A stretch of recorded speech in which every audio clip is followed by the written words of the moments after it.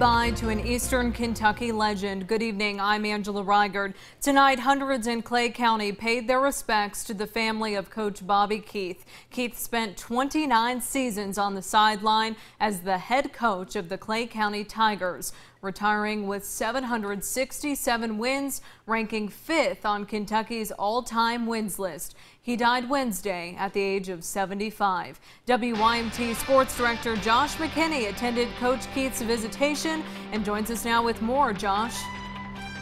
Thank you, Angela. As you said, hundreds showed up this evening to Clay County High School to pay their respects to the family of longtime Clay County basketball coach Bobby Keith. Friends, family, fellow coaches, and former players all lined up to honor a man many call larger than life. And by that, they mean he was so much more than just a basketball coach. Well, more than anything else, Bobby was an advocate for kids, period. Uh, and that was evidenced by, by how intense he was even around his daughter's cheerleading squads and opportunities for people. And he would go to competitions that didn't even involve students he knew.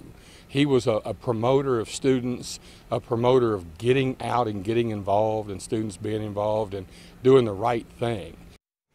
Angela, as you heard there from KHSAA Commissioner Julian Tackett, that was the theme coming from a lot of people I spoke with. They wanted to make sure that people all around Kentucky knew that Coach Keith was more than just a basketball coach, that he was also a tremendous influence in the lives of everyone he came in contact with.